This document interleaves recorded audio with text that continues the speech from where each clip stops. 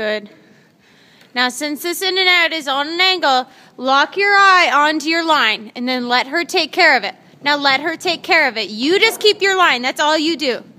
Hold their shoulder. Good job. Go do that again.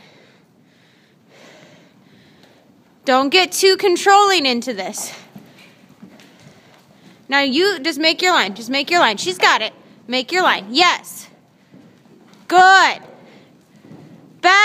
Go do it one more time.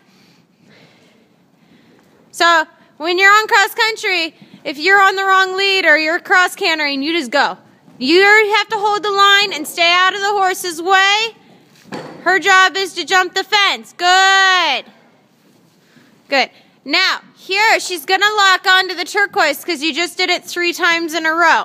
So you have to think about my eye.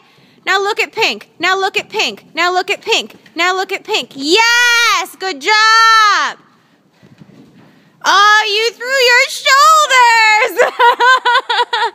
That's okay. She saved you a little.